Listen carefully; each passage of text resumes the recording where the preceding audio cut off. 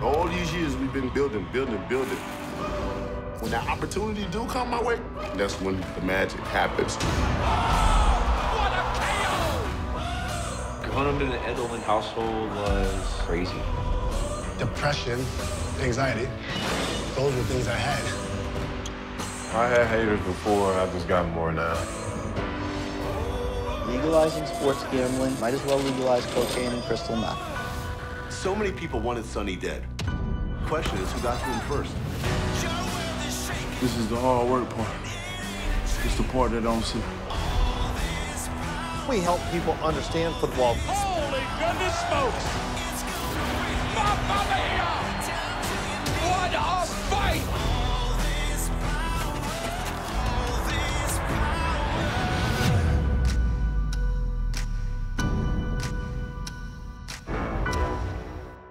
I hope you guys enjoyed the first few months of All the Smoke. We've been getting tremendous love and support, responses. Me and Jack couldn't be happier. Man, Thank we you, appreciate you guys, man. Before the new year, we got a chance to chop it up with Cari Champion, The queen of smoke. the first lady of First smoke. lady of all smoke. And since then, she's announced she's leaving ESPN, which was kind of, it shook everybody. Mm-hmm. It's sugar bear, but we happy for her. We're happy for her because I told her personally she's never hotter than she, you know, she's, she's on fire right now. So for her to venture out and do whatever she can do, take over the world. So we wanted to give you guys that intro to the situation. We hope you guys enjoy this episode.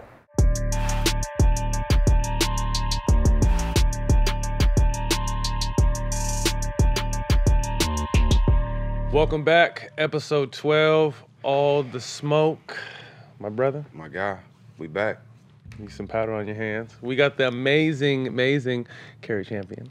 Thank, you for, your time. Me. I love you. Thank you so Appreciate much for having me. I love No, you guys both You're our so first female guest. I know. First. Okay, how how'd that happen? We had an eye for you. Okay. No, well, uh, to keep it real, I mean, uh, we just love what you've been doing. I You know what I appreciate mean? The fact that you're, you know, you're heading Sports Center, and that's only one of the many things you're doing. Um, you know, with the success from television, obviously in the sports world, it's opened a lot of doors. So tell us some of the other stuff you're doing. First off, I have to say I'm so happy to be here because I work with you guys both. And I don't know if people know this because they sit here and they see you guys and they're like, oh, they just talk and they have such fun and they cool and they know people in the league. But you guys have really transitioned. That shit's hard to do, right? So, like, as an athlete to become a broadcaster, you have a voice that people respect. Obviously, they respect you, but you do it so effortlessly, both y'all. And I just, I think that nobody acknowledges that. Like, the Thank shit's you. not easy. We get up here and we talk and they think it's easy. And Right. er- and all these uh, so many athletes I meet, especially ball players, they want to transition. They Yeah. want to basketball players want to do this. They want to, and you can't just sit up here and just start talking and think it's gonna work because it doesn't work. Right. Thank you. Thank you. We Um, appreciate You're it. welcome. that means a lot coming from you, though. Thank yeah, no, I got a lot of jobs. I have uh, I work on a show with um, The Rock called Titan Games that airs on NBC. So I, I host that show, which I love because it lets me do like have more personality. You guys both know off camera I have more personality. I think people feel like I'm really like mm-hmm. elegant and uptight, and, and mm-hmm. that's not me. So it lets me be a little more comfortable. And then um, I, I, host a lot of different things where I just try to you know have a little bag and keep it aside for myself. I like to make mm-hmm. all my money. I don't mm. have to wait on nobody Yeah, to give me no it. money. I want all my little change. And then I have a foundation that I run. Tell us about the, bro, what's it called? Brown. Brown Girl's Dream, where Okay. I, I, um, it's a, I, so many like dope young ladies would always hit me up in my, um, my inbox and say, Cari, how do you do this, or how did you do that, or can you help me? Whether it be in front of the camera or behind the scenes, they just wanna, they want some help. And I know when I was coming up, there was nobody. Like I just had to figure it out on my own. And so I created this really informal mentorship where I help young girls who and, and the ages vary right? It could be anywhere from 20 to, to 30 but i help them get into a world where otherwise people just overlook them because so many women especially if you are a woman of color you're overlooked. You might be qualified but you're overlooked. So i'm just taking them to the front of the line and i'm like here you go. Here's somebody who's great. You may have overlooked her. She deserves mm-hmm. an opportunity. Just having the Love resource is so important. you For know what I mean? sure. That's, that's that's the biggest thing, especially for the young, the, the youth. Just to have a resource and know where to go, I think that's that's huge on your part. thank you i appreciate But it I it's good think there's a handful of you guys that are really in this space, women of color who are opening doors and letting women know, you know what I mean. This is an this is a platform you can utilize now. We, and before it was unheard of to have a, a black woman. It was ha- having of. a voice on television. It was You unheard know, of. outside of Oprah. Oprah's been doing it for some years. Well, that's why, right? struggles. I love Oprah. Like Right. I, that's when I was a kid. I saw Oprah. I was like, Mom, I Mm-hmm. want to do what this lady is doing because she looks like my auntie or like somebody who'd Mm-hmm. be in the house. Like you would watch her and you just be like, wow, she's she's fascinating. And and she just obviously she was. If you see it, you can believe it. And I think when I started at um like I have been in. I was a journalist for a minute, but when I started at ESPN, which was like seven years ago, I was hosting a show called First Take with Stephen A. I had him on here, and Skip Bayless at the time. And I remember I could count on my hands how many women I thought looked like me that I saw on TV all the time. That was only seven years ago. Yeah, I know. It feels like forever, right? Yeah. I know. It feels like forever. Um, but they had just became partners. Like Skip and Stephen A had just became partners. They weren't they weren't always they had just started that relationship. And then they wanted somebody just to sit in the middle and kind of tee it up. And it was just a real simple role. I wasn't supposed to really like get into it or get into the debates or any of that stuff, which was cool, which was fine. I didn't mm-hmm. care. I just liked the opportunity. But at the time there was no at ESPN, there was no black woman working Monday through Friday sitting at a desk. And mm-hmm. especially on that show. That show was like high visibility. I didn't have to, mm-hmm. you know, it wasn't Right. tough, but it was high visibility. And at the time I did not know that I was working with those two personalities. You just don't have you had no idea. And I remember uh, Jemele Hill pulled me aside one day and was like, "Girl, so let me just, just put you on some game real quick," and tried to tell me what it would be. She was like, "I was supposed to get this gig. They told me it was mine. Um, in so many words, they gave it to you. People may want us not to like one another, mm. right? Because you got it and not me. She was like, but I will not let that narrative live. She was like, I have your back. Mm, that's and from huge. Day dope. one to care of me. Just like that's huge. tell me that's not that's, a, a, totally a, her. That's No, a that's super dope. OG move. Yeah, no, J- she. I'm a big fan of her, man, in the space. I know Jack has a good relationship with her. She's been, she's always kept it real. Always. You know, and, and Who does that? and speaks your mind. I mean, I think, like I said, for you, we spoke a little bit off camera, and we'll get into Gabby as well. But you know, for you, you're someone who speaks your mind. She's someone who speaks her mind, and it's refreshing. You know what I mean? Mm-hmm. Because it's always the picture's always painted as you know an angry black woman mm-hmm. or you know hard to work with. The mm-hmm. stereotypes and the labels get pushed around, but it's good to see that you guys have made it through. Although it's you know it's a, it's a ongoing battle, but you're at a place where you can you know you, you f- freely speak for the most part. Well, I think that that those labels will always be there, which is why I started the the foundation. Because I feel like, and you guys know what it is. Like you you come on TV and you don't look like the rest of the analysts. You don't talk like the rest of the analysts. And so if people don't understand who you are, they um they judge you or they're uncomfortable. And so. I got to the point where I'm like, why does your the level of your uncomfortness? Why does that have to affect me? You're uncomfortable. You have to get comfortable. Like that's not my situation. So I feel like, you know, with Jay, and Jay taught me this a lot. I have to tell you, she was really my mentor. Like she schooled me on a lot at ESPN and how to move and make sure you have people who have your back or mm-hmm. have an advocate. And, but because those closed door meetings, mm, Watch the motherfuckers. Don't mm, watch the mm. motherfuckers. right? In so many words is what she was saying. Watch your back. Watch these. Hi, because if you ain't got nobody, you you're in trouble. Right. Because people can say yes or no, and that can affect your career. That'd be the end of it. Yep. Um, so I think that that's what I'm trying to do with my foundation, and I think that I've gotten to a point where like Jemele will always be like, or some of the people that we have in common will be like, and I'll just say at work, I'll be like, you know, the athletes fuck with you, Cari. They fuck with you heavy. Mm-hmm. Like they get you. They get it. Mm-hmm. They get it. Like they know it's not easy. I'm not sitting up here just pretending and and, and, and moving through life like there's no care. They know how hard it is behind the, behind you know behind the doors, behind mm-hmm. closed doors. Where did all this begin? Like your your love of sports and your aspirations to take this. I worked. Okay, so I wasn't kidding when I told you when I was a kid. I saw Oprah, and I was like, I'm gonna do whatever that is, mom. Okay, it wasn't it wasn't modeling, wasn't singing, No. it wasn't no, no, No. volleyball, track, No. it wasn't nothing. Well, I ran track in high school, and I wasn't good enough. I played. I ran track and played basketball in, in high school, but I wasn't good enough, and I knew that. And I was like, all right, so what else can I do? But I always talk. Teachers would be like, I'd always be the student that was talking too much. And you'd be like, Can you get your daughter? She talked too damn much. Ain't changed. You're right. Ain't nothing changed. Don't let nobody talk, running my mouth in the back of the class, not paying attention. Um, and then, and I mean, I'm not gonna lie. Like, of course, I had, you know, modeling moments and Right. wanted to be in videos and stuff growing up here in LA. Because I, I grew up, I went to UCLA. I went to Pasadena High School. So Mm, shout out all- to Bruins, Yeah, yeah. Bruins are the best. No. Mm, We haven't been very good lately, but yeah, just but just to be general. there, just the family, the family is yeah, the family is dope.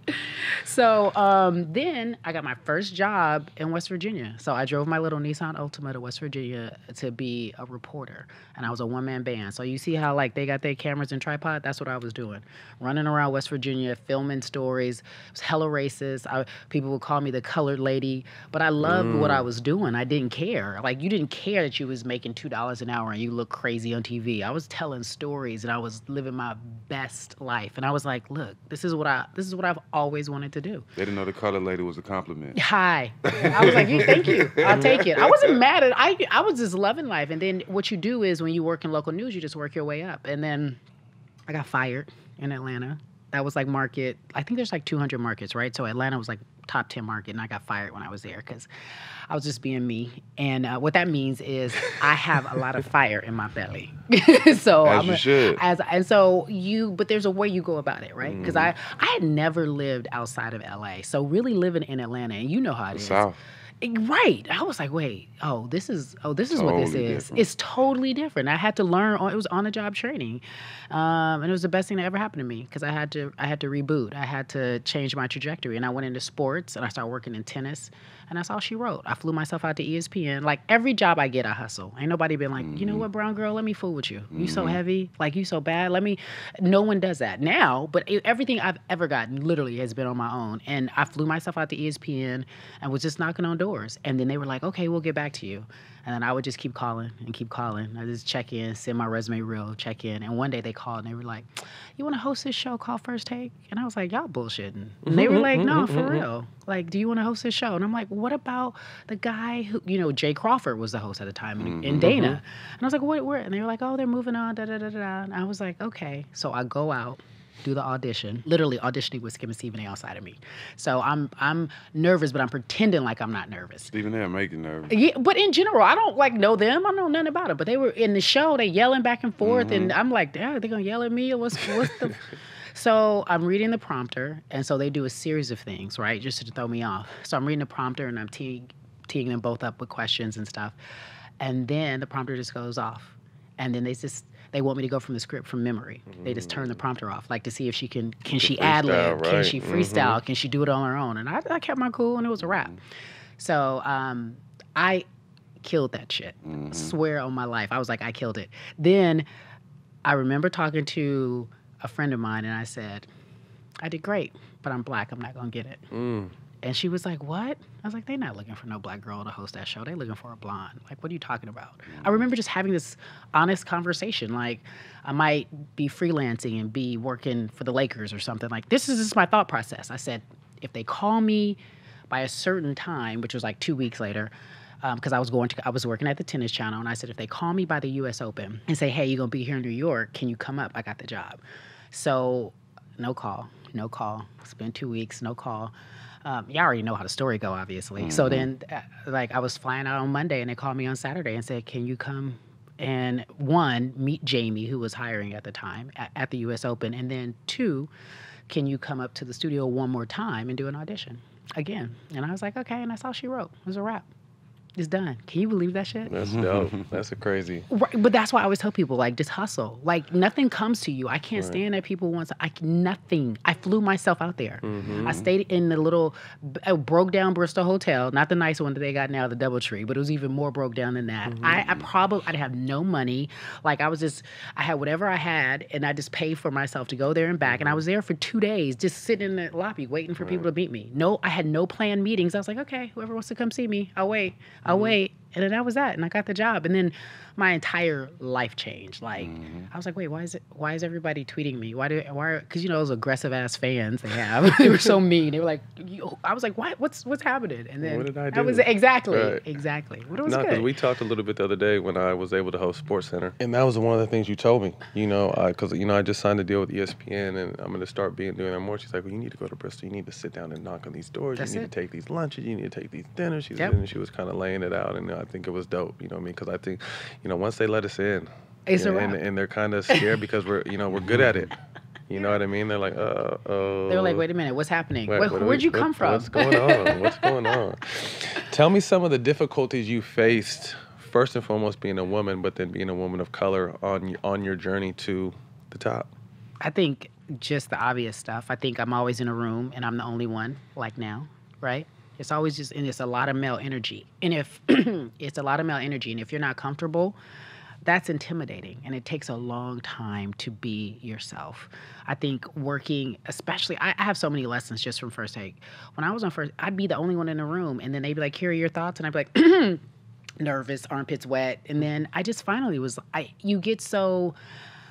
And y'all know how it feels. I don't know what how it would translate in basketball. You get to the point where you just don't care anymore, and you just yourself, and you just are like take it or leave it. Mm-hmm. And it got to the point where I was there were so many no's and that doesn't make sense and don't get me wrong i wasn't i didn't know much about a lot of different sports i knew basketball but i had to learn football i had to learn a lot of different things and it was on the job training and i would you know they would look past you like a lot of the times when i was you know first take people would look past you like or or there would be people who didn't address you they just addressed them i it's i mean i can count so many times i was embarrassed daily i was daily embarrassed or humbled and it and i'm not gonna lie i remember uh picking up I remember picking up Jemele one day. I keep throwing her back because that was my dog, and I had um, I had a some champagne in my my cup. You're not supposed to drink and drive, guys.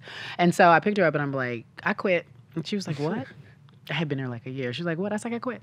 I'm done. I said, I'm gonna tell him on Monday. And she was like, What's wrong with you? And I was like, I can't do it. It's breaking my spirit. I was like, mm-hmm. it's it's cold, it's miserable. I ain't got no friends, no family. And she wasn't living there at the time. I was like, it's just hard. Cause the shit's hard. Mm-hmm. And I just you know, every day you get up, you get dressed, you do your best, and somebody's telling you you're not doing your best. How do you how do you deal with that? Right. You know, how do you how do you keep finding your encouragement? And then I just had to dig deep because I'm not a quitter. But I but I tell you, it was it was close. It's hard when the, when the odds stacks against, stacked against you. It's hard. It's hard. It's, It's hard, to find your motivation. It's hard to trust anybody because you can't trust anybody, right?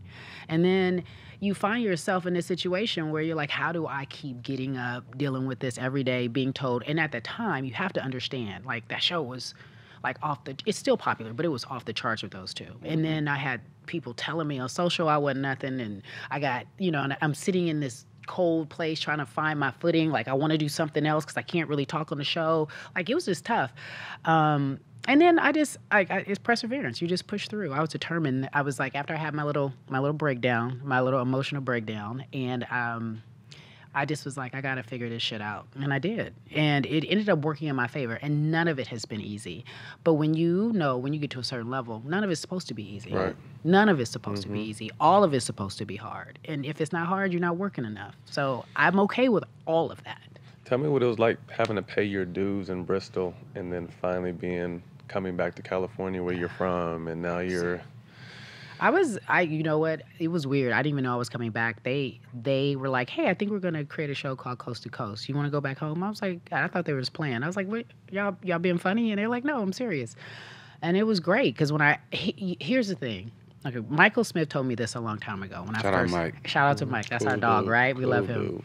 So when I first got to, I'm just giving y'all all the business. When I first got there, I had been there for about maybe a, a year and a half, maybe two, and we were going to maybe it was a Super Bowl, we was traveling somewhere, and I was walking around with Mike, and um, people were stopping me and asking me for my autograph or to take a picture, and it was like other athletes or just people in general, and I was I was so shocked. I was like, wait, oh, they're asking they're asking for to take a picture with me. This is when I had just i'd been been at ESPN for two years. And Mike turned to me. He was like, "Oh, oh, you still in the I ain't shit bubble, huh?" And I was like, "I was like, what?" He was like, "Oh, you still think you ain't shit? Oh, they got you. Oh, okay." And, and he was like, "They got you. You need to get like he sh- like shook me, and he was like." You have to understand where we live and where we work is not real life. He was like, You're doing your thing. And if nobody tells you, I'm here to tell you. So you got to get out of that bubble because you're just, you're like this. And then uh, I come to LA and I was like, oh, wait, okay. And the people, I was like, oh, okay, maybe, maybe, okay, I'm the shit. Like, you know, but Yes, you still gotta know that. humble about Wow. it. But like, okay, and, which was good for me, right? Because I want, I wasn't trying to, you don't want to get too high or too low. You just want to be like this. You don't want to get too high or too low. So you can't be too hard on yourself, but you can't think you the shit, shit, shit. So I was just right here and it was easy. you were just shitty. You Yeah, I was was just just shitty. I wasn't like, shit, shit, shit. Yeah, right. and so we just, I mean, we had a good time. And when I came here, I had all these other opportunities. Um, I got to work with a lot of people that were nice. Um, and then, you know, you you just you I'm from here, so you have Mm-hmm. to you have to understand. Like I measure it. I don't I'm not out here like you know, we Brad Pitt and Angelina Jolie. Like, I, people are famous, but Mm-hmm. I don't. I don't trip off that. I'm like, okay, because when you grow up here, like, you go out of your way to act like you don't see famous people. Like, it's yeah, just like, all right, it's, it's normal. right? You're Mm-hmm. like, okay, cool, whatever, that's fine. That's not big deal. Go Magic, whatever. I ain't tripping. Although I did trip when I first met Magic, but yeah. That's dope. Some of your favorite moments in sports. Uh, what makes you feel rewarded? We know you talk to a lot of people. You've done a lot of a lot of work in the space. What makes you feel rewarded? Like out, out of all the work you've done. I like good stories. I like just telling really good stories. I like to see people win, not just physically win, but win in general. So like, um, there's so many. Uh, okay, so a personal story. Like everyone asks how much you love sports. So growing up here, I was always a Laker fan, right? Besides uh, all the DMs and, and Yeah, texts you no, get about, no, yeah, about, about, no, about how, no, how no, good you no. look and how we praise you. Let us know what makes you feel rewarded. Besides that. I get no DMs. I said we should do a show Man, called I- eh, man, DMs. I I, don't get any DMs. Everybody on your page, all those guys be on your And page now- praising you, and Cari. I I read get- it all day. Yeah. I read it all day. Guys, cut. No. I read it all day. But what, what, what, but what makes you feel good though about your work? when I when I can do a story about somebody who we had a kid, and what I think is really important now, I'm knowing that a lot of black men are dealing with a lot of personal issues, right? And in sports, you guys don't talk about it, but it's becoming more and more common that black men are talking about how they're dealing with depression or how they mm. are struggling, and how it's really hard to live a life that so many different people want them to live. Like I don't even think people understand the pressure that it takes. They think, oh, you, you could catch a football, you got all this money, you should be happy. You could you could dribble a ball, put it through the back, oh, you should be happy. But they don't understand how they grew up or what they're dealing with. The other mm-hmm. side and people constantly asking for something, mm-hmm. money, mm-hmm. people, whatever. Y'all know better than anybody. Yep. So for me, I've always felt bad for the athletes. Like I've I've had an empathy. And now that I can see and be able to help and witness that a lot of these these young boys, even grown men are coming out saying I need help. I'm struggling. Life is hard. I'm not as tough as I'm trying to make y'all feel. Like I don't care how much money I got, how many chains I got, how many broads I, got. I got. cry. I cry. Yeah. Yeah. Shit's hard. Like I'm I'm having a mental breakdown. Today's tough. Um and uh, we were able to do a story with one athlete. And the fact that he said he was getting help and starting to get help and feeling a little more a little more easy, not thinking about taking his life, those kind of messages that I get are rewarding. Like that that's what we're here to do. We're here to help and tell really great stories. Like of course there's the fun stuff. But to me that's huge because in our community, you know well, you're, you're supposed to be taught, be strong, be strong, be strong. That's what you, you like this, uh, be strong. But it's okay to say I'm not strong. It's okay to say I hurt. Like my, my mind's not right. Like, They- They've been teaching. They've been teaching us to be strong and be able to take so much, but they don't teach being real with yourself enough. Mm-hmm. You know what I mean? Staring in and, the and- mirror. and that's when you start to turn the corner when you're being real with yourself. Yeah, you can be tough as hell, but you got to be real with yourself when you're dealing with life and everything you're going through. Mm-hmm. Yeah. You know what I mean? Don't live. Yeah. Don't live by a facade. Be real with yourself, and that'll make it's it a lot hard easier. for everybody to be real. Right. It's hard, like because you don't want people to like men are in general, in my opinion, hard. They don't. They're not expressive. Right. very few men like to talk about their feelings. You want to go in a cave and figure it out. So then you want me to turn around and tell you that I feel weak and I haven't figured it out and I'm vulnerable and all these emotions that you're just not familiar with that make you feel like somebody could take advantage of you in a mm-hmm. world where people do nothing but take advantage of you. Mm-hmm. Everybody's asking you for money. Everybody need a new house, new car, new this, new that. Mm-hmm. You don't know if she really likes you for you, right? You got and you and sometimes you indulge in all of that. But it's all a facade because you go home and you're tired and you're weak and, mm, you- and you gotta drained. you drained. You mentally and physically drained. And now that I'm starting to see so many of these guys talk about it, um, in a much more you know, eloquent way without feeling like someone's going to make fun of them or mm-hmm. they won't have the same respect in the locker room, to me is rewarding because that's the turn. That's the turn mm-hmm. we're seeing in sports. We haven't seen that. That's the turn, and it's beautiful. I love it. What's the most positive and negative aspects of, or the effects they've had on your career, positive and negative through social media, The, the positive of social media and the negative of social Mm-hmm. media. You- life and career? Because I mean, you you know, working for who you work for, it's Right. you really have to monitor yourself. Oh my God, yeah, that's that's a negative. Like some days I I want to be on there. Like so, so like I'll I'll follow you guys Stak too. He'll be like cursing. I'm like that's what I wanted to say. or like you know what I mean. That's just the freedom. When I see people tweet free, I'm like freedom. Like I want to mm-hmm. say what they're saying, or when things are happening, I'm like that. That would be my tweet. Yeah, I you know whatever. Or I like it, but. I think the negative is that I'm not allowed to, which is a good and a bad. I'm not allowed to, in my opinion, I police myself on what I say because 140 characters, like you can't really get out, or even more than that, you can't really have a nuanced opinion, and everybody thinks their opinion matters. So I don't really delve into Twitter. I think social media um, has made everybody feel like they're missing out on something, or they, or that person's life is better, or they want that, or how come they don't have that, or why is she winning or he winning and I'm not winning. Those are the things that I think will ultimately um, take its toll on you. Sometimes I just got to tap out. Like I just I, I can't even be on it. Um, I think the beauty of it though is that if you have something special to share, or you or you want people to know who you really are, you can do that. Like I feel like sometimes you guys post and I'm like, oh, I can tell that's who Matt is, or I can tell that's who Stak is, or you can really show a side of you that people may not be able to get by just listening to you on the podcast or seeing you for two minutes on Sports Center, and um and so I use that to my platform. Like I sell I sell certain things that I want people to know. Other you know, but I'm very look. I don't know. I'm very private. Like I, social media is for my mm-hmm. benefit, you know, and that's what I I've chosen to be that way. Right.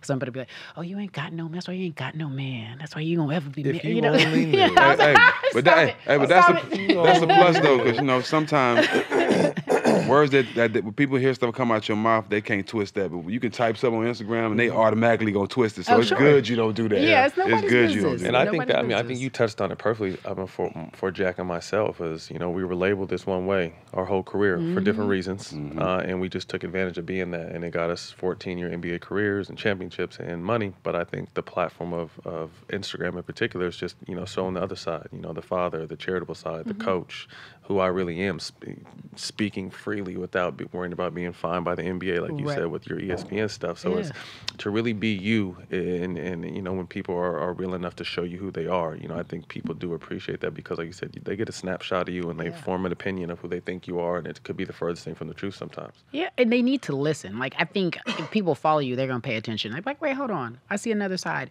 I remember. Can I tell a story when I met y'all both? Mm-hmm. Separate instances. I met you when I was working um, on First Take, and we were on the road in San Antonio, and you were a guest on the show. Yes, And and you were, I think maybe they, I think I just got released by him. Yeah. Yeah. And you were like, Papa's tripping. Like, you kept it 100% I funky. he was like, I should Yeah. be on the team or whatever. You were really nice. I thought you, no, I wouldn't call you nice. You were very professional and you were very much about your business. And I thought to myself, like, because we did another interview with you afterwards and you were talking about, I guess you had an album come out. Al- or, yeah, Yeah. yeah, and we that. were talking to you about that. And I just thought, okay, he, he's got layers. I don't think everybody knows. Yeah. Like, you were very, very, like, I didn't, I didn't say the town you were from right. You made sure you were like, Port Arthur, you got it wrong. Like, you Yeah. was like, I was like, all right, my bad. Shit. and then I thought to myself, I was like, that's nice. And you were just very professional. I didn't, I didn't get like, I didn't get DM Stak like Yeah. you know slime. Yeah. I was just like I appreciate Yeah. him. Like I appreciated that because I felt like that was like a mutual respect. I met Matt.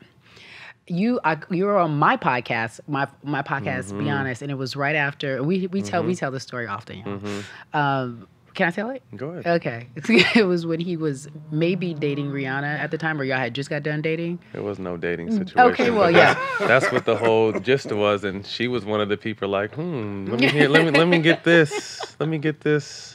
So they were connected somehow, some way. I guess some TMZ came up to you and asked you something. Some- yeah, some yeah, something shit. like that. And we, I had you on the podcast and I asked you about it, and you're like, "That's my friend" or whatever. And you were very. I felt at the time because somebody had, I guess, you know, said that on Rihanna's behalf that y'all didn't know each other, and you were talking about it. And this was the first time I ever really believed a dude because I'm like, look at Rihanna. Everybody gonna say they wanna her. There, all these dudes lying, saying they dating her, they ain't dating her, they like her, whatever. But then you start telling the story. I was like, oh no, he's telling the truth. I He's, you he's just- very believable. yeah, I uh, because he could be lying.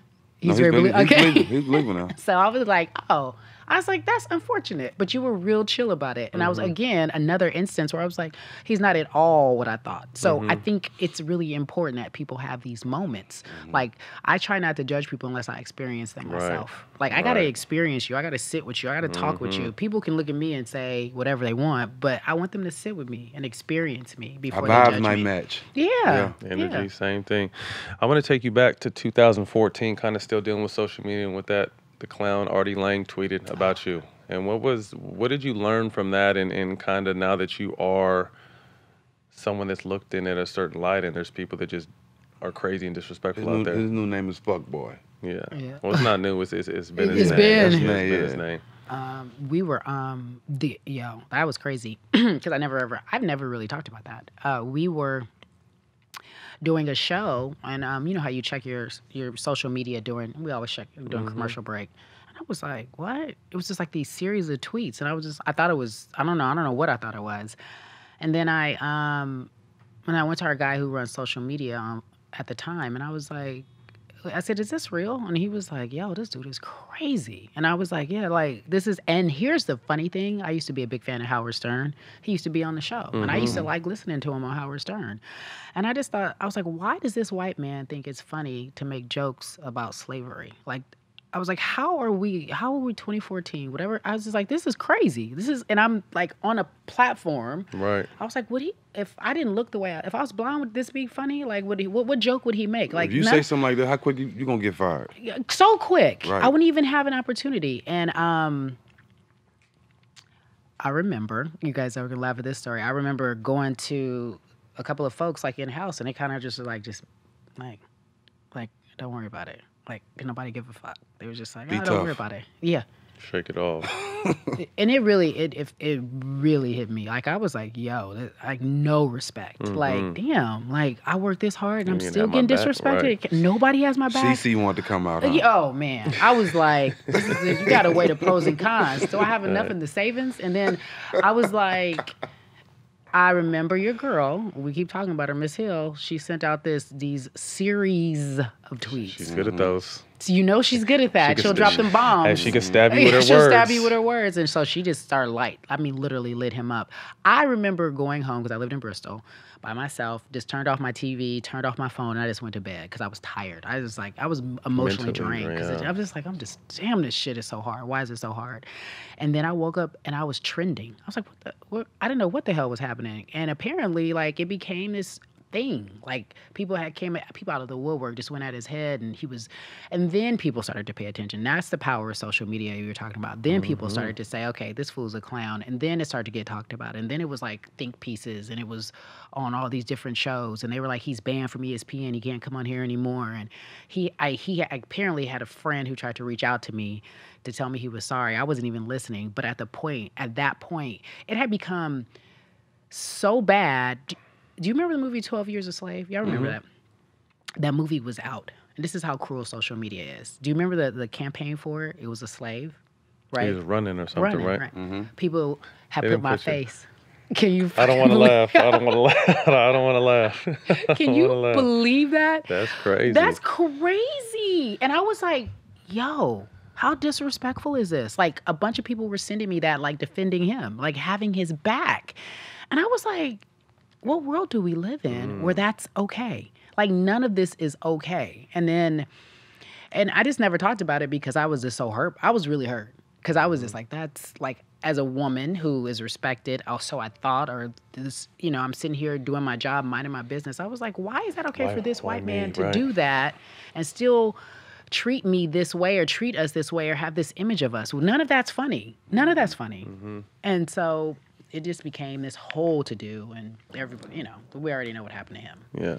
Well, speaking kind of in this realm and, and, and with the treatment that you guys get in this space, you know, Gabby is going through it right now. We talked about Yeah. Alf Kramer, how proud of her you are and, Yeah, and, yeah. and what she's doing. Can you elaborate on that a little bit? I just I just sent her a message. I said, well, she obviously got let go from this show, right? She got let go from um, America's Got Talent, um, and and you don't have to renew somebody's contract. We know that's the, na- the nature of the business. No one's entitled, right? But you would think if you do your job and you do it well, You get rewarded. And she did that. Right. So how do you like she we're watching all these people, you know, fail upward and she's succeeding downward. Like how what why Mm. is she not being brought back, right? So she's just frustrated. I remember her just being like, I'm so frustrated. I don't know what's going on. I'm so frustrated, which I understand. And then she's like, What should I do? And I remember her just really thinking it through. Because you have to realize, and she's talked about it later, no matter what, especially with women of color, no matter what, you could whisper and your voice is still too loud for a world that never intended to hear it. Hmm. You could whisper. You could just say, Hey, can I talk to you? And use all my happy words. I'm uncomfortable with this. And it's still a problem. Mm-hmm. And so she was tired. Like her quote, not mine. I'm tired of being a happy Negro. I'm, I'm tired of just being here. Mm-hmm. And the response to what she's dealing with in terms of how people have had her back has been overwhelming. Because normally you it just gets you know pushed to the side, and it may who knows? Because she knows the end result of her speaking up and saying what she said could end up with her not having another type of job like that again, mm-hmm. right? It could, and, and people are like, "Well, she got a rich husband," but that's no, that's That's not the point. that ain't the point. Right. Like if you know her, she want to work hard. She got her own money, and it's also the fact of the respect. Like I've, I've been in this business for so long. Are we still doing this? Like at the mm-hmm. bottom line, like I'm like I've been nothing but professional. I handle myself accordingly. I show up on time. I go above and beyond. I'm twice as good as everybody else. I, why, why am I not getting the respect? When do mm-hmm. what do I, what do I have to do? And so I was really proud of her because for us, a group of women have talked about it. It's happening in real life. It's like 3.0. I've never seen anybody do what she's doing and then get the support. Usually it happens and then there's a pushback. Right. They're mad at you. You can't work no more, or mm-hmm. no one's writing about it, or no one's applauding you and saying, Good for you. Thank you for standing up. I appreciate that. Mm-hmm. And it, I mean, it's beautiful. For us, it's Right. beautiful. And It's, it's big. It's not falling on deaf ears anymore. you Yeah, know what I mean. I right, think for so long it fell on deaf ears. Like No you said a lot. attention. You like they don't want you to speak in the first place. So, So if shut you up. do, you know, but it people are, are you know I just think we're like power of social media. You know, I mean, it's really the power of social media. You know, when you start, you know, because I spoke to her too after it happened. She's, you know, so it's like, you know, you know, I freely speak. I was like, whatever you need me to post, let me know. I got you. you Oh, know, I love you, that. You want to come on the show? And she's like, I definitely want to come on the show. But it's just like you, you get allies, and, and now we all have a voice. That Yeah. not only certain people have a voice. Yeah. So now we can start attacking. Yeah. Or, or at least fire back. Yeah, I want and I want that freedom. What you need me to post? That's where I'm Right. going. That's where I'm moving. That's my next Okay, level. What that's you need me I'm to talking about. post? You'll be there soon enough. On the brighter side, huge, huge, huge UCLA and Laker fan, but particularly Lakers. Uh huh. Talk to me about that. I love the Lakers, y'all. Not just because, like, We I- know. but not just because they're like you guys have to. Okay, family. I'm gonna give y'all the whole background. I don't know if you know those stories. Let's get the breakdown. Here's the break. Okay, so my grandmother grew up in the segregated South. This is you know I was gonna bring in my grandma. She grew up in the segregated South. My she, mom. She she she played basketball right at an all black school in Magnolia, Arkansas. And so when her mother moved to California, she left secretary school and came here and became a Laker fan right away. Mm. Now, my grandmother can't drive. This is a funny story. Still alive, amazing lady. But she would want to go to these Laker games, but no one wanted to go with her or drive her. So she would catch the bus to the forum. And When was who would this? go with her? Time frame? Like 80s. Okay.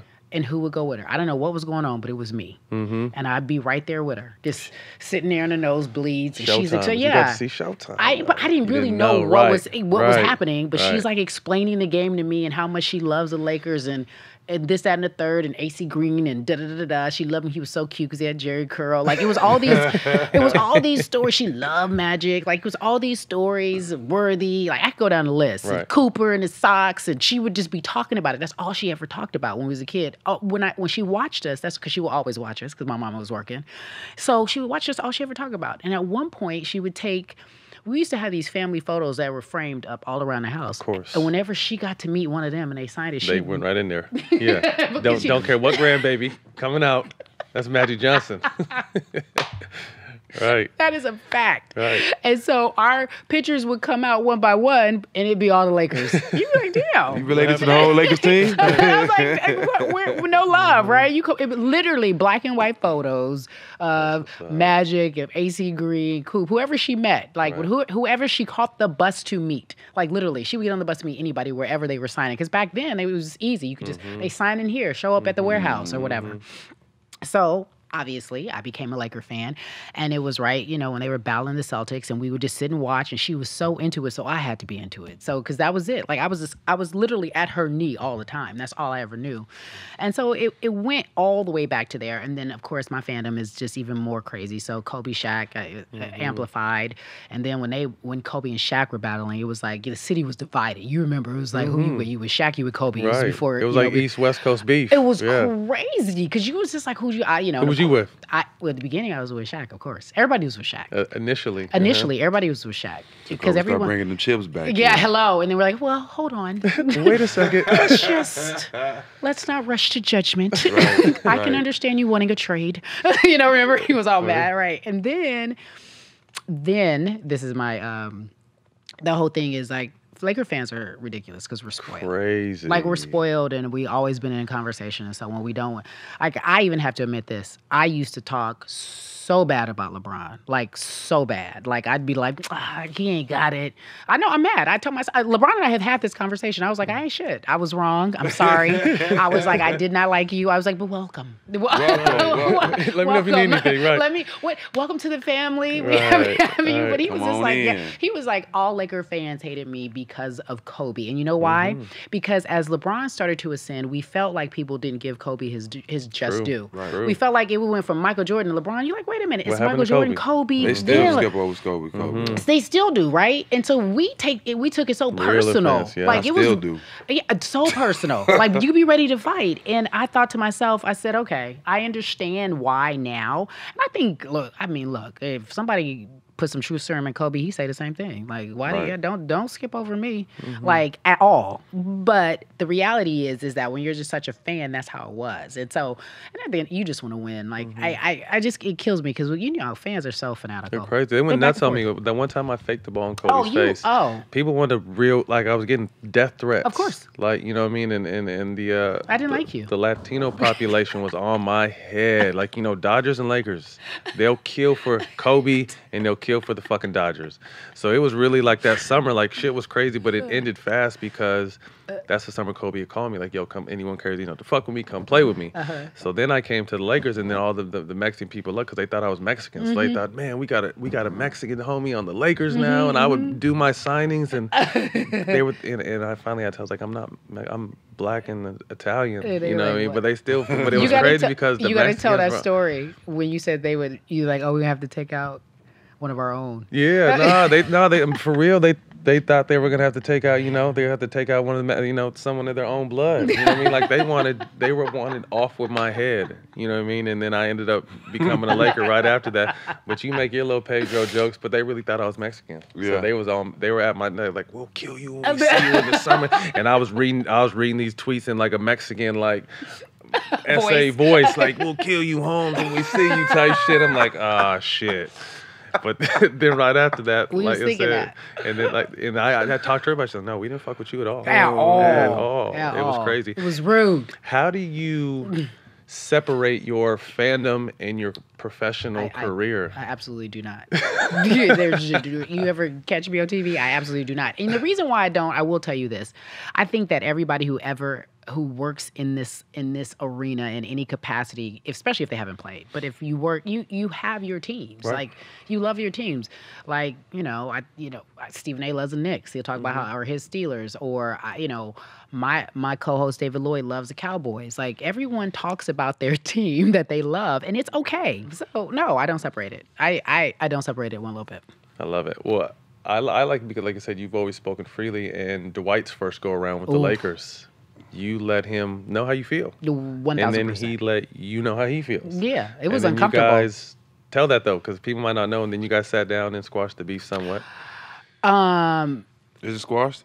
I don't think it's. Uh, uh, you- uh, Yeah, I I mean, I'm not mad at him. But what I thought, what Dwight did, I, I I'm always ahead of the curve because I said I was like, we don't want him. I don't like all these keep D12 bill. Remember them billboards they But had? why argue with a woman when there's so many men out there killing you? Why you pick choose a woman to go with? That's kind of weak. That's kind of I'm weak. not. Gonna, I'm not gonna lie to you though. If, if uh, some women Oh, said you some would've- slick shit to me, you would've if came at you my would've heard head. what she said, you, would've would have came went on- back at her. What? Okay. I, no, what did I say? Tell me what I I, don't remember what you said, but it was crazy at the time. I was like, "Yo!" no, and then he, he, came responded. on. He he came on. Um, he came on Sports Nation when I was hosting it, and Um, he said something to me first. Oh, really? Yeah, he said. So get the story right, Matt. Yeah, he said something to me 1st I'm he goes, taking up for him. I'm saying a woman with slick mouth sometimes gets talked back to. That's what I'm saying. Oh God! See, do you see the world I live in working with men? Do y'all see? Which I'm not afraid. I'm fearless, so I don't care. So he said something like, he was like, but not like some people who don't like me no more. He said something like to that effect, Mm-hmm. like rem- knowing that I didn't like him, knowing, remembering that I didn't like him.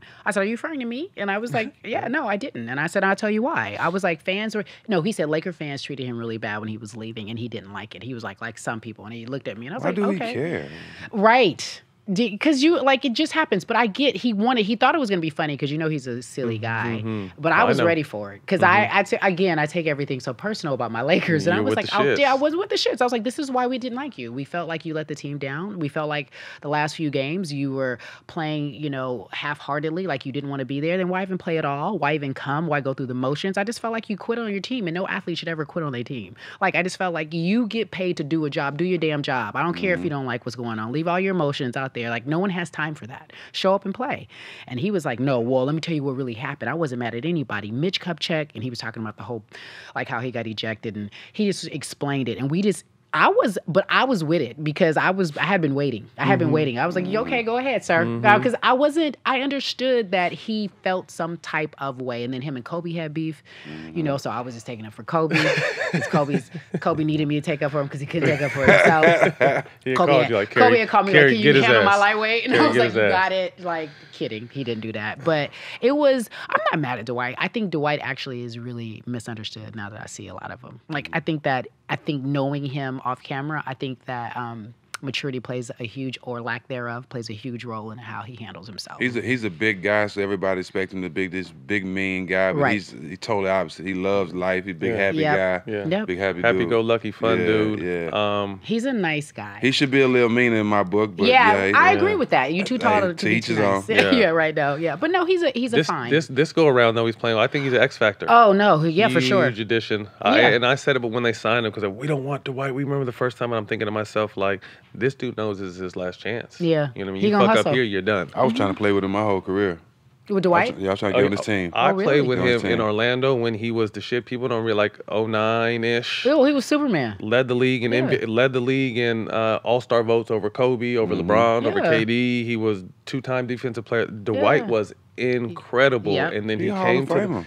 No question. He came to the Lakers and had that back injury, and I think he tried to rush back from that. And people don't take it like people. We talked about this on one of the very first episodes. People don't give a, if you're on that court, they don't give a fuck what's Oh, yeah. behind you Nope. and what like you got to play. And Yep. like coming back from a back injury, I saw he went from being Superman to barely being able to jump, and I'm just like, damn. And you just happen to do that on the Lakers stage. He said you that. Can't, He you said can't that. do that on the Lakers Yep. stage. Oh, he was like, might- I had a back injury. Nobody knew I was playing injured, and I'm and we don't like. They don't care. Bu- uh, Keep Okay. real. Fans Doing- don't give a fuck. been doing my whole That's how it is, Yeah, right? Welcome. Everybody's injured. Right. Welcome. Everybody's injured. Uh-huh. So anyway, whatever. We Yeah. got we got we got over it. But Yeah, I cool. did. I was slick. You ain't lying. Yeah. I'm I'm hardcore. If you had came on the show that I was hosting after you did that to Kobe, we would have fought. Like I probably would have greased up and put some Vaseline on my face. I would have been like, "Where you at? Where you at?" Let's meet up. Yeah, I would have been like, you would have been like, "Is she serious right now?"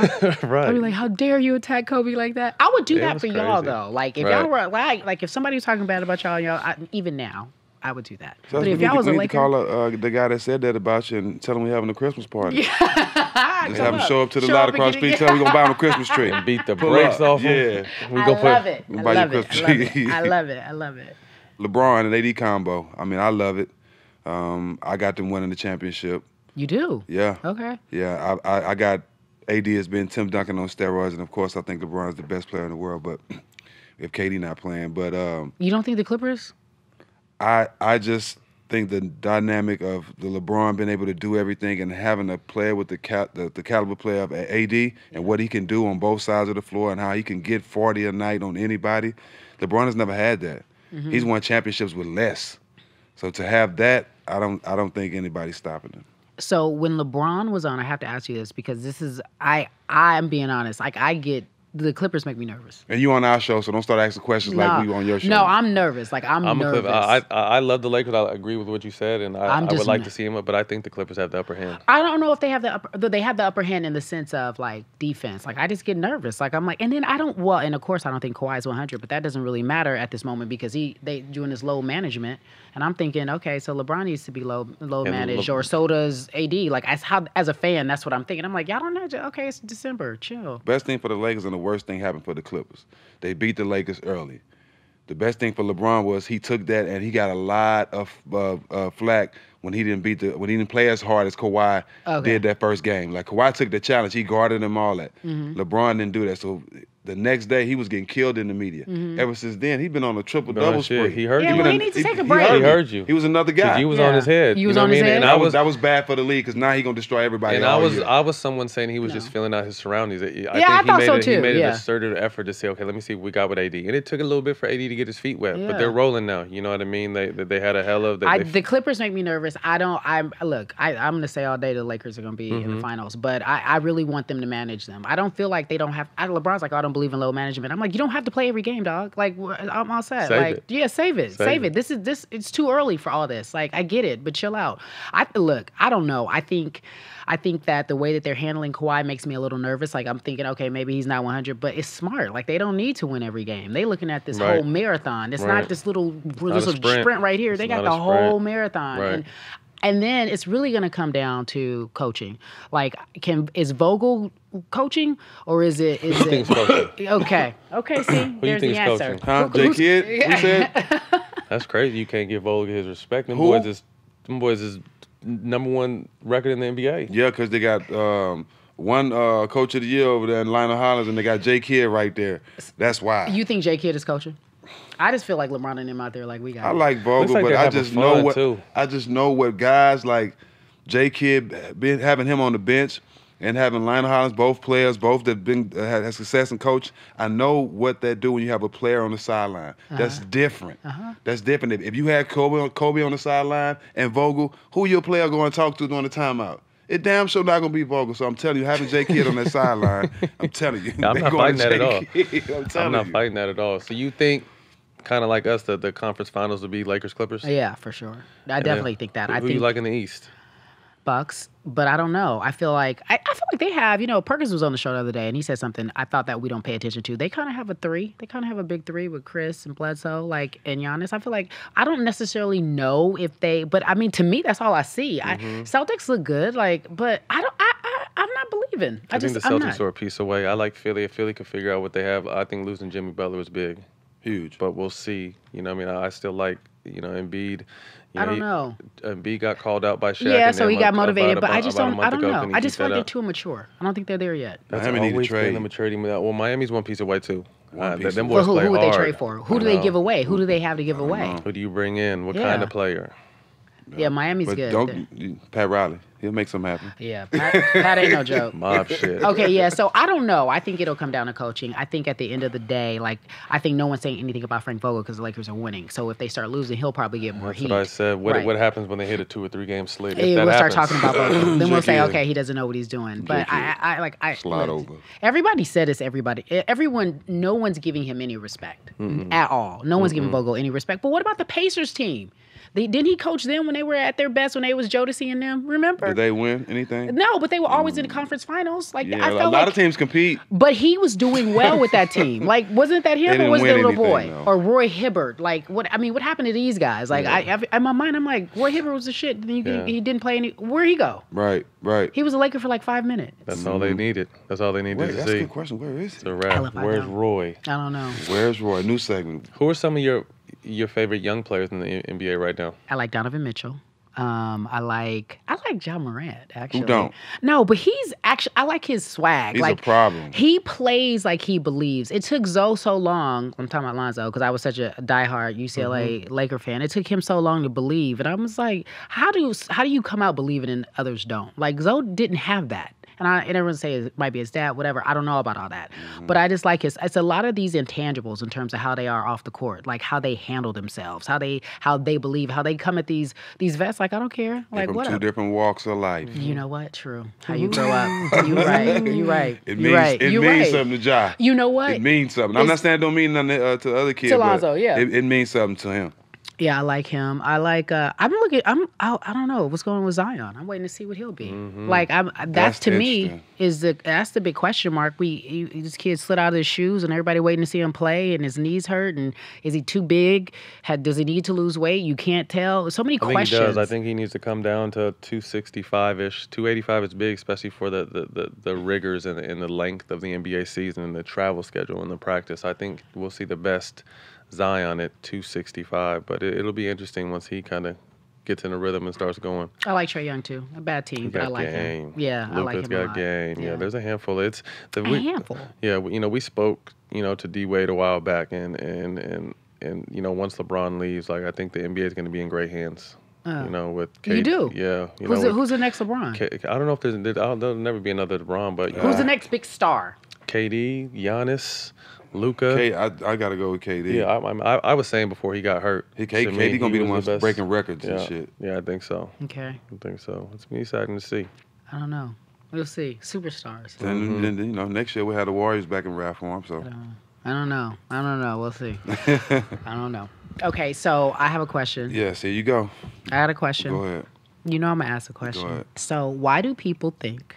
And I asked you this already. So when people think about you and they say they see you and they're like, Stak just don't give a you know what I mean? You mm-hmm. say whatever come to his mind. Do people see what I think I see? The sensitivity of who you are? Like the nice guy. Do you show that to everybody? Your kindness? I think I do. She's about to make a gangster cry right now. Nah, I, I, I think I do. I mean, I, I try to. I try to be me. I wear my emotions on my sleeve, so But how you express them is different. with how I express them is very different. Yeah. I mean, everybody don't follow me. So if they follow me on Instagram, they see a totally different side of me. You know, I I listen to gospel every Sunday on my life. I know. You know what I mean? So people might not know that if they don't follow me. Um, I'm a very emotional guy. Mm-hmm. Very emotional, but you would you have to be around me to know that. At work one time, I think it was Valentine's Day. hmm He brought all the girls a single rose. Rainbow roses. That's all. That's that player Are shit you get, right there. Well, and uh, no, he was very no. I was. It was. It Do you was saw- you know you what? see me trying to hype that devil up, get him going. Yes. A little bit of it was Yes. though. Hey. A little of it was though. little bit was the player in me, but it was, you know, it was Valentine's Day. I was going to work, and one thing about working at the time, all the women there treated me well. You know, I, I spoke to everybody, and that's just the country boy in me, and, and being raised by a beautiful woman, my mom. I've always had respect. So working there, you don't see that a lot. Uh-uh. You don't see people doing stuff like that and, and respecting women and saying hi, how you doing. So I made it a point to do that on uh, on Valentine's Day, and they loved it. no, not only did they love it. The, first of all, he don't know this before.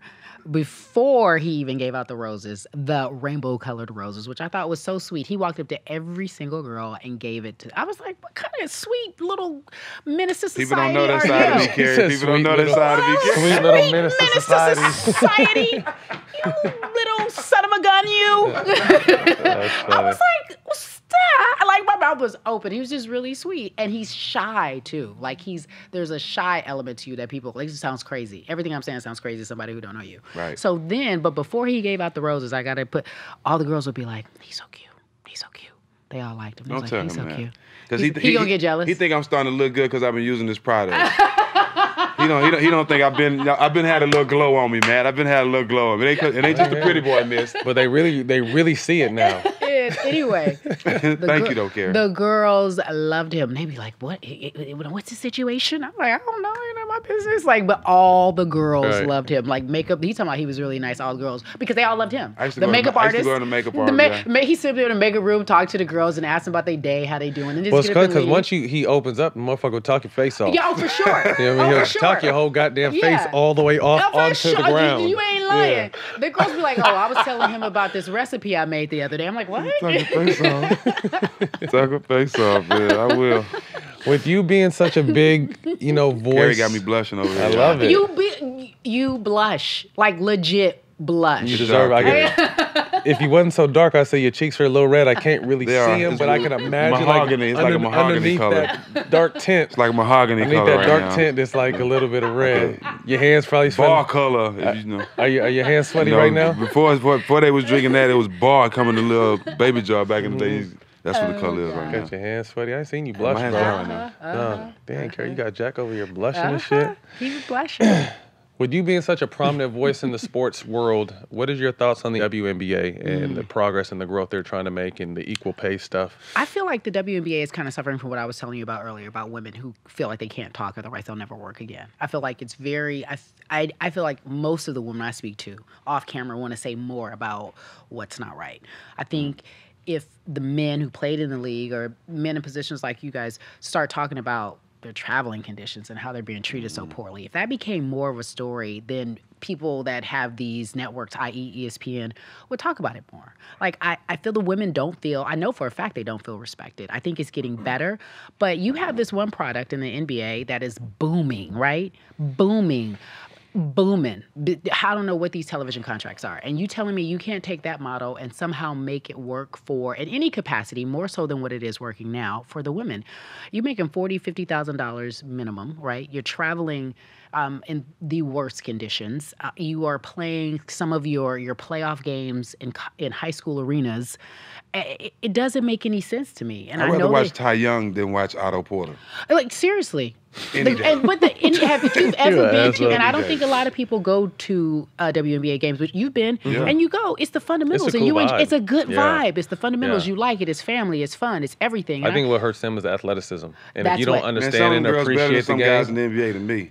sure if you don't are. appreciate the game for as a purist, you'll you'll overlook it because of that. Yeah, because you feel like you need to have this. Or I want Mhm. to hear low the rim, make them dunk higher, whatever Mhm. you want to say. I just feel as if I feel like it's a great game and they're not publicizing it well. I, we buy stuff that we don't even want because of the way it's marketed in, mm-hmm. in everyday life, whether it be clothes, shoes, what, Keep anything. the tag in the in the in the in the, in the So how come you can't market this product? There's no way you can figure out to market this product. Just be like, or do you not care? Right? It's the people mm-hmm. who run it, and you have to. and You got to hold people accountable. But it's come a long way. But it's been twenty some odd years. I'm like, yeah, damn. It's been a long time. They got they got to start adding like I think like even with like the All Star Weekend, if they had like the women's, they have the women Yes.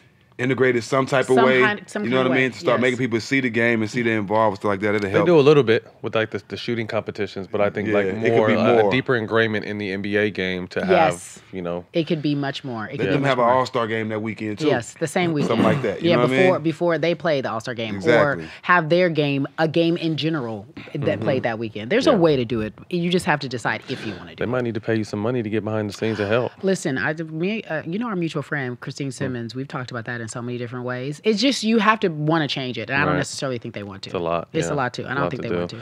Social issues and having a platform like Champion causes. Speak on that. You know, there's there's so much going on in, in, in tis- today's society with right and wrong and police Mm-hmm. brutality and human trafficking and all that Mhm. kind of stuff. Like, because I know all that touches you. You're someone who's very Sure. aware of the news. Speak on that. things that register with me. Um, and it's so funny.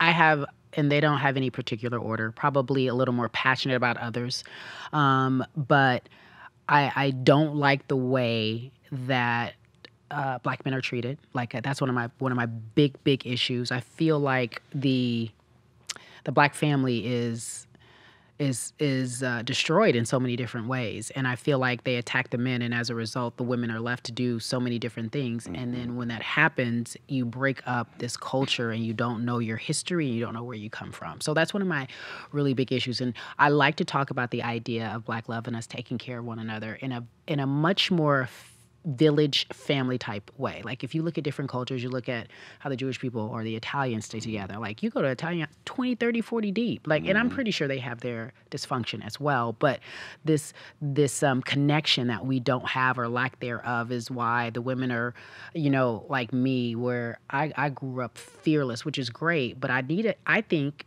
I need a healthy fear of male respect, right? Of, of my male, my whether it be my my mate, my husband, my boss in air quotes whatever it is i think there should be a level of respect there. And mm-hmm. i don't have that because i didn't have my father growing up. So i'd just be in your face ready to ready to tell dwight he ain't nothing. You know what i mean? And and i don't Demanding think yeah and and it's not and it's not appropriate but it's a i'm a i'm a creature of habit the the environment i grew Product up of in. your environment, the right. product of my environment. And so the more i get older and the more i realize that that's not necessarily the way to approach life i understand why i'm doing it. And so i'm trying to i'm trying to auto correct.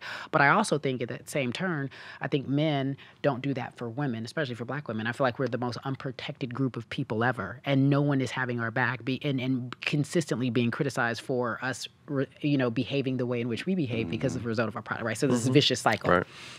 So it's one of these things that I try to talk about a lot. I'm really big on us just working as a whole for women. Like I think I have so many like interpersonal issues that I found just growing up in this world and growing up at, in this working environment, and they're all about how we interact and how we treat people. Like I, I ultimately, I would, I would love to say that I have great relationships with everybody and I have a good, healthy respect for everybody. I don't. But one of the things that I think we really should start valuing, which we don't, is just our time and our human and human life. Like we don't spend time appreciating the people we are with. So when I'm teasing you about giving the girls flowers and roses, like I mean that shit. Like the girl, that's that kind a of thing means a lot. You don't know what somebody's small going thing through. that means a yeah, lot. you don't know what their day is like. You don't know how that touched somebody's heart, whether they had a crush on you or not. Stak like those things matter. Mm-hmm. Knowing that somebody sees you and can relate to you and touch you and say, "I, I feel your spirit. You you mm-hmm. matter." So I feel that's kind of where I'm at: peace, love, and happiness and joy. That's where I'm at in this in this phase of my life. In, in terms of professionally and issues that matter for me, I want to. I want to transition. I want to go to a new level. Like I like working where I work, but it's time for me. I think I'm getting the itch, and it's time for me to be in a place in which I can use my voice in, in, in a much louder way, right? Unapologetically. What would something like that be? Tell me what that is. For me, that is working more in a, a personality realm where I could host different shows, or I could um, talk about what I love. Like I love doing this. I know I'm nosy as hell and I ask questions, but that's just a natural curiosity. I'm just in your mm-hmm. business, right? And I want to be able to do more of that. I want to. I definitely want to work in the arena of mental health. Like that's so mm. huge. Like I want to be able to tell those stories and how people and how it's okay to get therapy. And we shouldn't have to pay for therapy. Therapy's mm-hmm. crazy. Therapy, mm-hmm. a million dollars a session. It's just a conversation. It's just yeah, am I paying that? You know, I want to be able to be on that forefront. I want to be able to advocate for that because I can, I've seen it change lives and I've seen it destroy lives. Right? Like in my family, I don't know how you guys grew up. I'm like I ain't, I ain't going to that. I was like, Mom, come to your therapy. Let's talk about some of our, our issues, what we're dealing with. She's like, hmm, I don't believe in that. Why not? Well, that's how they grew up, and I don't think it's right. But I want to be able to talk about that on a level. And if you see celebrities doing it, and people with influence doing it, and people who matter talking changes. about it, then you're like, oh, okay. It's not. It doesn't have that stigmatism to it. Right. It doesn't have that, like, oh, I don't do that. If everybody's doing it, Opening up, right? Right. Turn You- over a it- new leaf. why not? Do you feel the responsibility of, you know, obviously, like you just spoke on your platform and who you are and what you've been able to accomplish? Um, do you feel the responsibility of being a mentor? Yeah.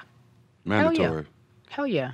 That's yeah, honestly like I tell these girls I was like I know I'm cute, my new gold hair and um legs out. Mm, I look good. One's on. One's on. I'm real. I'm real put together. But I'm t- at the end of the day, like all you see is that part. Like I was like, it's hard work. Like I just didn't show up and put on a little dress and go out here and start talking. All of this is hard work. And so if you're not giving back and you're not explaining that, then you're not doing nothing. I on everything. I love your job as service. If you are not giving back, you're not worth anything. I swear. That's the only reason I, I say that to everybody because I'm like, well, why do I have this platform? Why do I have this pocket? Why do I have this little bit of change? Why do I have this? What everything I have is not just to keep, right? It's not to keep. You're supposed to share. You're supposed to give it out. Like, and I'm doing that in, in the only way that I know how to do it. And and because somebody did it for me. All you need is one yes. You need Uh, one person to believe in you. I always say we not we, not out here supporting each other than what we doing. you and you're you big on I mean? that. You You know, are. that we not doing We're wasting time. You know, this is a perfect time for all a lot, especially us as a race, our race. We've seen the twenty to thirty make more money than we've ever made Mm-hmm. in, in this time. So it's, it's even more imperative that we support each other and build each other up along the way. You I'm know, with you. It's, it's, it's real important. What do you What do you think when you hear like a girl like I want to be just like you? What is that? Knowing your journey and what it took to get here. What is Oh, it? What do you humbling. think? I'm like, what? What do you mean? What does that mean? I'm thinking about like, uh, well, do you know what it'd be like me? I'm still on some bullshit. Like, But when little girls, you know, what I mean, little girls I, know. I yeah. know what you're saying, but in my mind, I immediately go to, Right? Huh? Me? did they see what I was doing the other day? Um, I'm such a mess. I think it's super. They love that though. That's what they Yeah. love. Real him, the That's real what they love. And I'm glad you got to show that here because I've known you for a while, Uh-huh. and uh, you know just how cool and down. You don't get that on. You're not. I you know. can't give that on ESPN. Yeah, it's hard. You know yeah, I mean? right, You right. just can't. You know. Everybody so to did. be able to. They'd be like, "You're such an elegant hood lady." I'm like, "Thank you, I take that." Because I am. To commercial Uh, break. Yeah, yeah. To commercial. Thank you. Right. Because it's funny, they'll be like, "You seem so." I'm like, "I get it. I know. I'm not. Damn Mm-hmm. it." But um, I I'm humbled by that because I I think that um.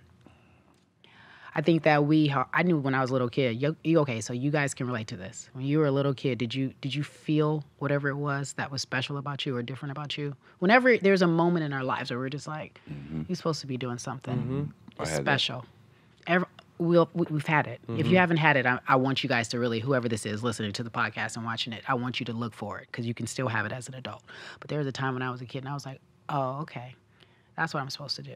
Like I'm supposed to touch people. I'm supposed to reach people. I, I, I mean, swear to God, I can remember the day, and then I didn't know what I was going to do with it, but I knew that it was supposed to be bigger than than just me. And you know, it's not an accident that everybody has this platform because you knew the moment. You remember the day. It's dope. Who's someone you looked up to in this space? You mentioned Oprah. Was she your main focus? Was there anyone in the sports realm that you looked up to, female wise? Yeah, I liked. You know, this is so weird, y'all. Like, I'm about to give you guys this thing. I'm like, who? She, why she like her? Um, I like Diane Sawyer.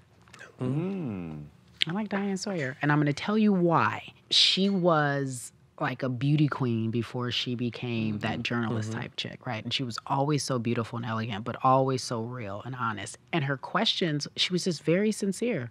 She would just ask you a question, and she could politely tear you up, get all in your business, but still look at you with such a loving, endearing way. And I was like, that shit's great because she genuinely, gift. yeah, it's a gift because she's literally connecting with your soul, but telling you you ain't shit if that's the case, right? Right. like Same I- it's the same time. It's like, but it's like it's a genuine thing, and um, I just always liked her. What I thought was authenticity, and um, I never like when I would watch her or, as a kid. I'd be like, she's great. Obviously, it was Oprah, but in terms of her style, how she carried herself, I think a lot of women in my business, even before I got to ESPN, I felt like a lot of women thought they had to be dressed like boys, right? Like wear suits and be Not be very sexy. Yeah, right. I was like, oh, Hide your sexiness. I'm like, ho ho ho ho. You could do both. You could. It's Yeah. hey, who says you can't? Like I'm, I'm all about it. Like it's not fake. That I want to do it all. Like Right. and, st- and you ultimately will have to pay attention to me. Whether you you might be looking at whatever, but you're gonna ultimately pay attention to me too. And I think she was to me one of the first like real like elegant women real put together. Um, and once you got past all that, you could listen to this. We got some quick hitters before you get out of here. Okay. Jackie, you want to start it? Top five sneakers of all time. You're you're a low key sneakerhead. I do have a lot of. You know what? I wear a lot of Jordans. Like I, t- I have so many of these. Like I can't even. Ones Do you get- do you ones get- is your go-to? Uh, my Do you, ones do you is get my boxes go-to. of Jordan sent to you, or how you get them? I do. I do. I do get them Jack sent wants to, to me. know. I do get them sent to me, but I I ask too. Like, sorry, I ask too. Like, people say, "Hey, Cari, let me send you something." I'm like, "Yeah, okay, send me some." I, everybody got to hook up. You got to Mm-hmm. Yeah. shout out to Samantha Baker. You got to hook up. Closed mouth don't get fed. Uh, yeah, hi. yeah, So- Jack has a begging section of our uh, of our show that he gets fed with. Oh, I like those because I wanted a pair of those. So Kobe sent those to you. His lady gave them to you. He, I got just got hooked up. You You know. say you know someone that knows You know someone someone. that knows know somebody. Okay, you know who knows somebody. You know somebody. somebody. Yeah. That knows If you watch it, somebody. I'm definitely blessed. Send me. I and I think and I don't. I I've never strayed away from Nike. Like I ones are the only thing. I can't even give you top five. I ones I used to wear Adidas back in the day. Like I I used to like Yeezys, but I mean and that and that was just real trendy. Like Yeah. everybody was wearing them, right? Because everybody thought they was the mm-hmm. ones. But Except no. me. You didn't. You didn't wear Any? I have never bought one pair. You didn't like never 'em? wore one pair. That's good. See, you did though. Mhm. I was Adidas my oh, whole career. were you really? Yeah, I was Adidas my whole. It's like the last two years of my career. I went They to Nike. took my deal in the bra. Yeah, so I was with Adidas since I was like Fuck 14. God damn it. So you're They the know. See, they didn't know. They didn't understand what being a rider was at the time.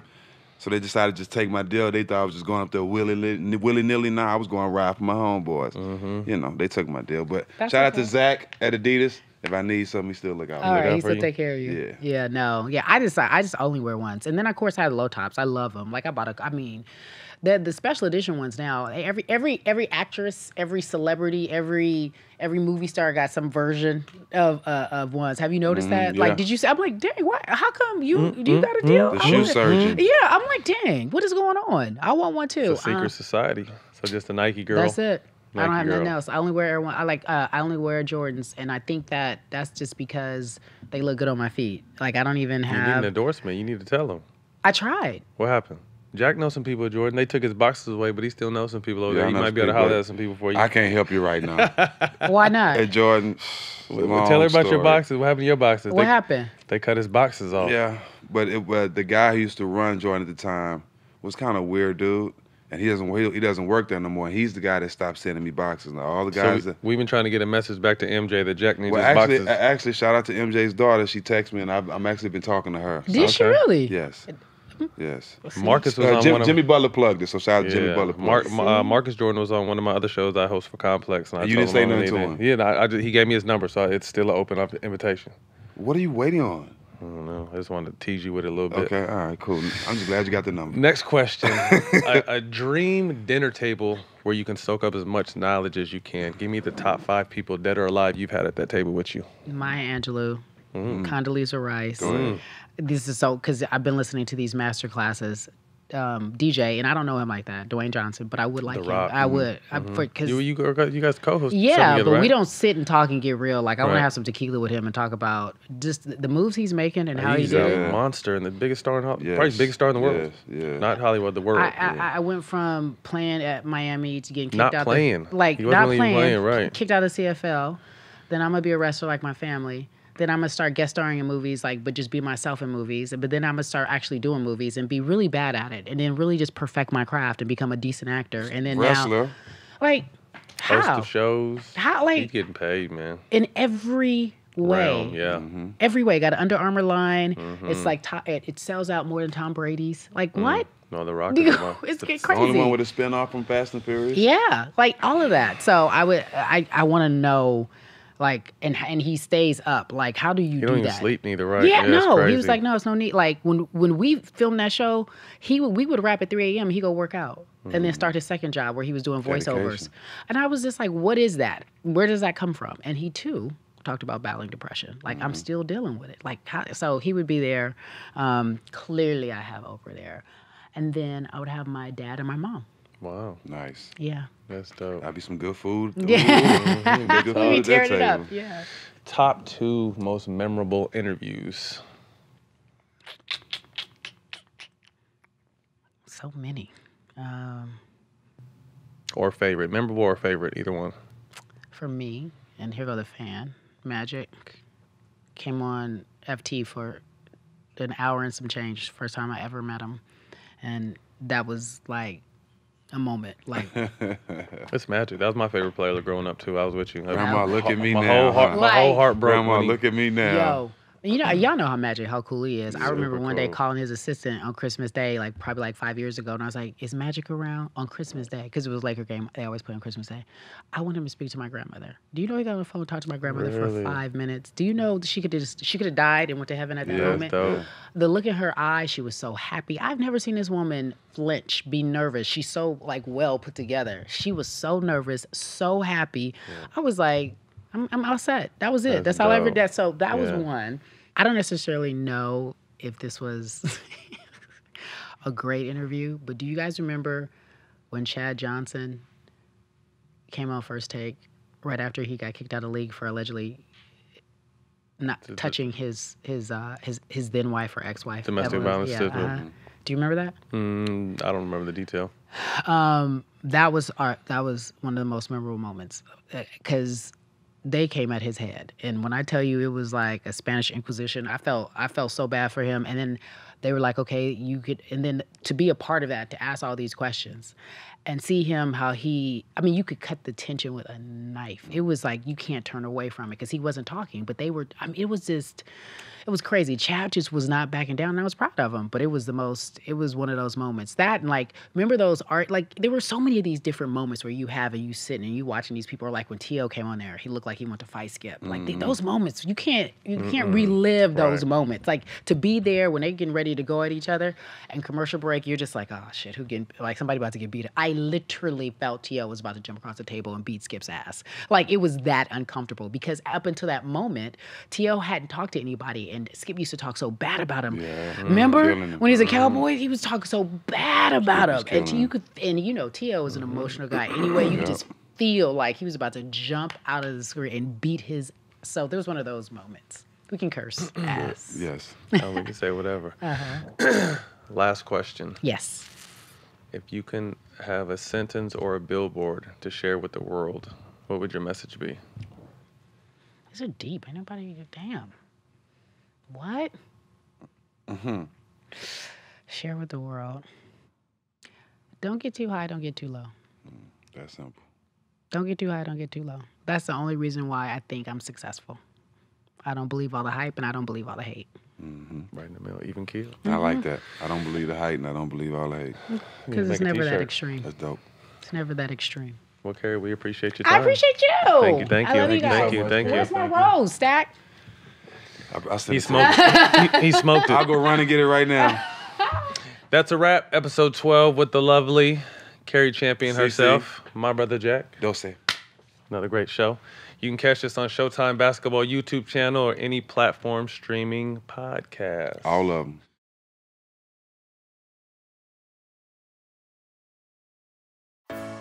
All these years we've been building, building, building. When that opportunity do come my way, that's when the magic happens. What a KO! Growing up in an Edelman household was crazy. Depression, anxiety, those were things I had. I had haters before, I just got more now. Legalizing sports gambling, might as well legalize cocaine and crystal meth. So many people wanted Sonny dead. Question is, who got to him first? This is the hard work part. It's the part that don't see. We help people understand football. Holy goodness smokes! Mamma mia! What a fight!